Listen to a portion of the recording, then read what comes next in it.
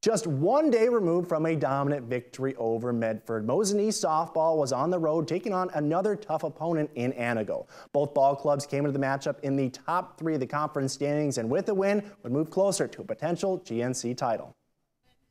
So would Mosinee stay atop of the GNC or could the Red Robins get the home dub? In the first inning, two runners on for Mosinee with Alani Benbamin up the bat and she hits a liner to left, but Maya Burt is right there for the catch and Antigo gets the out.